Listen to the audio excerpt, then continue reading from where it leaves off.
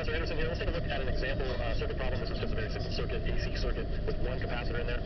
Okay, and let's think about what happens here. Of course, the current sloshes back and forth in this AC circuit, so it charges up the capacitor one way, and then discharges it and charges it up the other way. And we're given some numbers in this problem.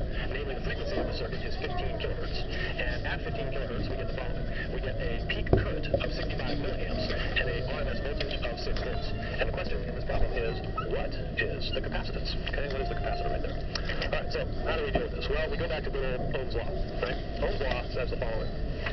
It says the voltage is equal to the current times the load, the resistance. But remember, when we deal with these capacitors, we have complex impedance. And so the equivalent is V equals I times Z, where this Z is the complex impedance of the device.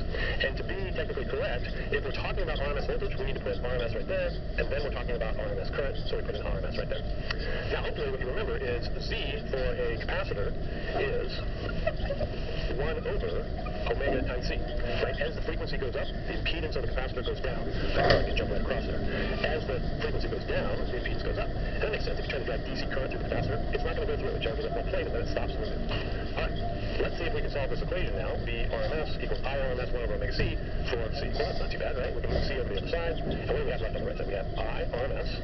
We have omega in the bottom. And then we have V RMS in the bottom. Okay, but we're not given I RMS. We're given I naught. But of course, the peak current is related to I RMS by root 2. I RMS is just I naught over root 2. We're not given omega, but we are given the frequency f. But we remember that omega is just 2 pi times f. And then we have the RMS, which we are given. So now it looks like we have everything we can, uh, everything we need to solve this problem, so we can just plug them in and try. All right, so let's plug this stuff in. We've got I naught, which is 65 times 10 to the minus 3 amps. We're going to divide that by root 2. And then all of that is over 2 pi times f. As we said, was 15 kilohertz. So 15 times 10 to the 3. And then we have the RMS, which is just 6 volts. So now everything is in SI units. Should work just fine. Punch all these numbers into your calculator, you should get something around 81.3 nanofarad. Remember, nano is 10 to the minus 9. So this is 81.3 times 10 to the minus 9 farads. All right. That's how you attack problems like that. Hopefully that's clear. Uh, if there's any questions, come see me on the side. Cheers.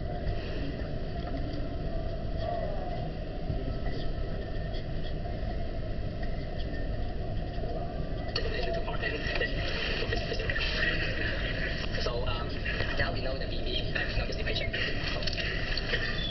So we can plug this uh, equation into this one. So we got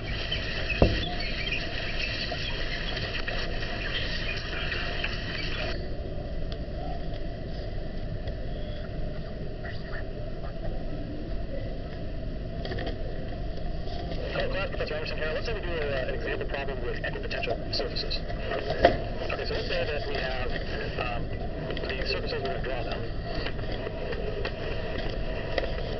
And then we want to calculate something about moving charge from one surface to another. So we're going to draw some region of space here. And uh, let's draw these equipotential surfaces. So let's say we have one like this, one like this, one like that, and one there.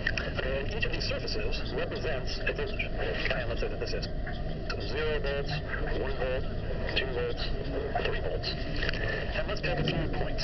Let's say that we're going to look at, um, how about this position? We'll call that A, this position B, this position C, and this position D. Okay. So let's figure out how much work it would take to move charge between these different points. All right, and we're going to make it really say that we're going to move one coulomb of charge between these different points. All right, and let's ask how much work is done. All right, let's take a look at A to B. If I move a charge from A to B, it's going directly along one of those equipotential surfaces.